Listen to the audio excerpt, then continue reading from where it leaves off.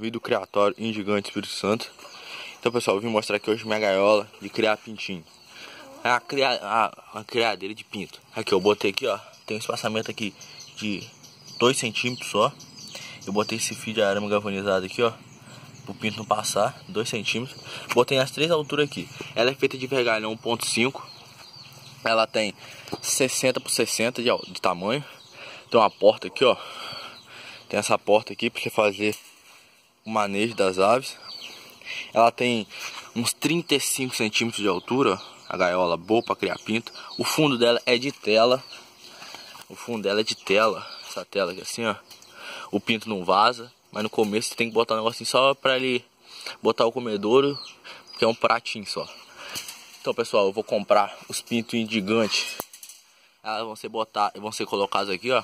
Essa é minha criadeira de pintinho, ó. Se você gostou do vídeo aí, deixa seu like, pode copiar a ideia aí, ó.